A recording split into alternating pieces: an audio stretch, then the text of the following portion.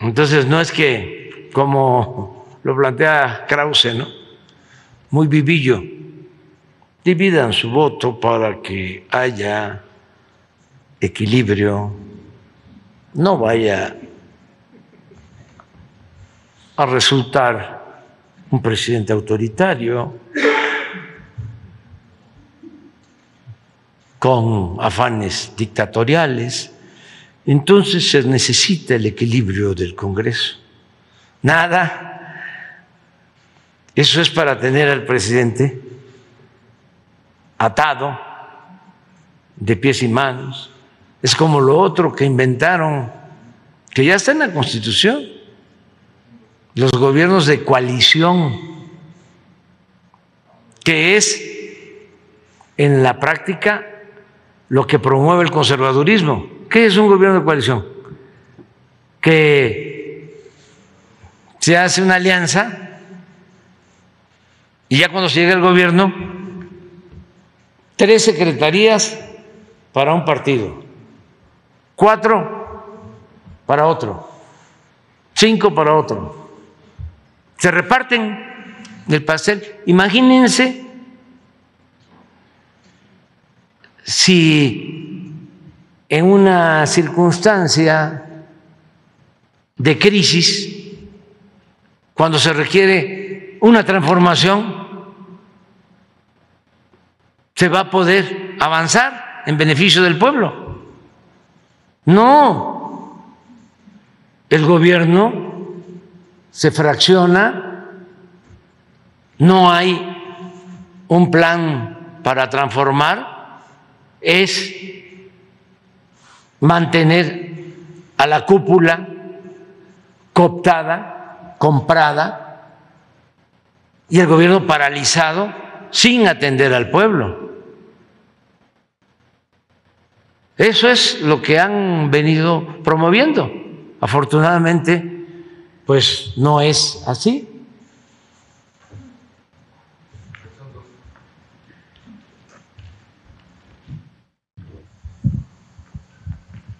Esto es lo que se reformó. Ningún servidor público podrá recibir remuneración en términos de la fracción anterior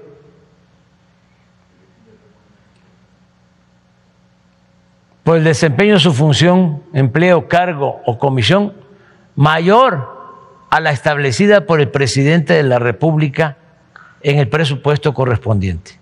Ningún servidor público. Eso está en la Constitución. Pues esto no lo cumplen. Porque se ampararon. Y como pues son juez y parte,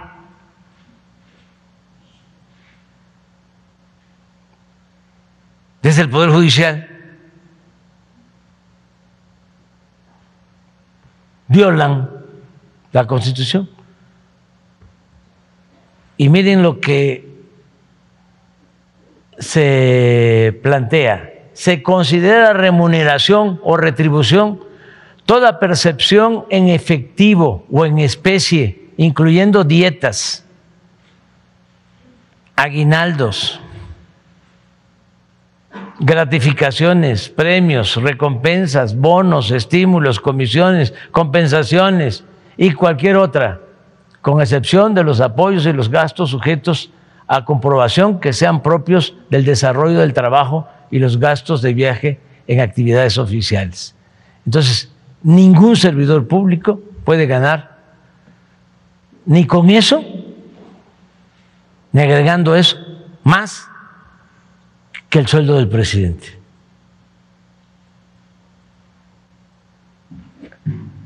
Entonces, vamos a ver, ahora, ¿qué hacemos? Si ya está en la Constitución y lo violan. Ahora, a ver, con los constitucionalistas, ¿cómo le hacemos para hacer valer la Constitución. Lo otro que quitaron, por eso tiene que ser una reforma de austeridad republicana de Estado,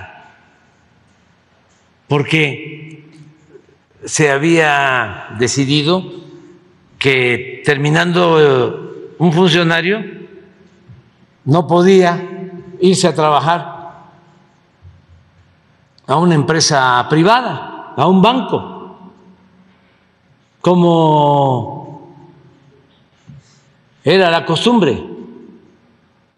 Todos los directores de Pemex, casi todos, terminaron trabajando en empresas petroleras privadas. Imagínense, se llevaron toda la información sobre los yacimientos petroleros a trabajar empresas particulares.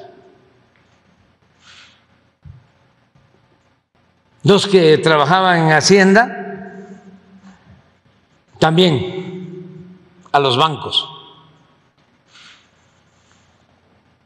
Y lo más eh, indignante y vergonzoso es que Cedillo termina y se va a trabajar a una empresa que se quedó con los ferrocarriles nacionales que el presidente Cedillo privatizó y se va a trabajar de asesor. Uno de los que era director del FOAPROA terminando el famoso rescate, se lo llevó un banco a trabajar, un banco privado, que se benefició con el rescate.